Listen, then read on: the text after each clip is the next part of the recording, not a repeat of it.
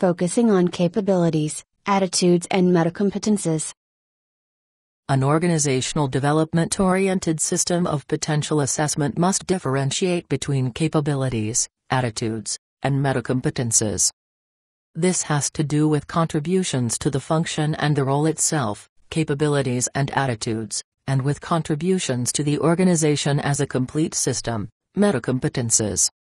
This differentiation is especially important for organizations, which must react to changing environments not only quickly but also appropriately in relation to the business as well as to the process design.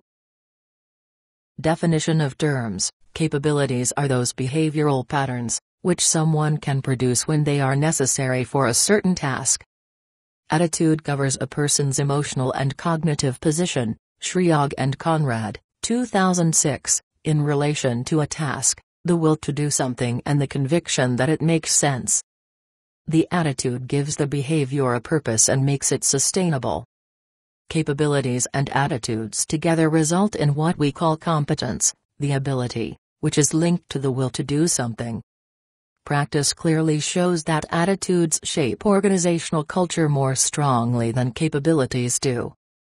Organizational culture consists of symbols and manifested values, and most especially of emotional and the cognitive attitudes and basic assumptions of key personalities who determine the essential parameters of the organizational design of an organization. Schein, 1999. Of late there has been an increasing necessity for comprehensive competences, which are not directly related to the tasks of the function or role.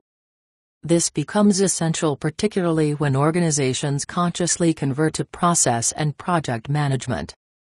Metacompetences, for example the inner orientation to the whole and not only to a person's limited area of responsibility, contribute to an organization's overall development.